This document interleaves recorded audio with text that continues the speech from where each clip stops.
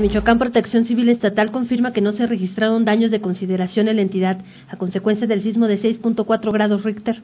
En el recién inaugurado Hospital de Alta Especialidad de Lista en Morelia se presentaron fisuras en la mampostería de dos áreas del nosocomio.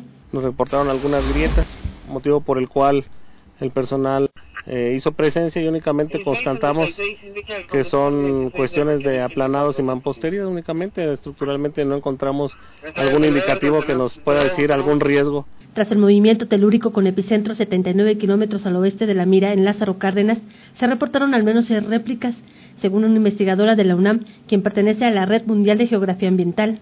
Aquí ya nada más en, en la zona de Michoacán, por lo menos ha habido seis réplicas y en Baja California en esta madrugada ya llevan cinco réplicas.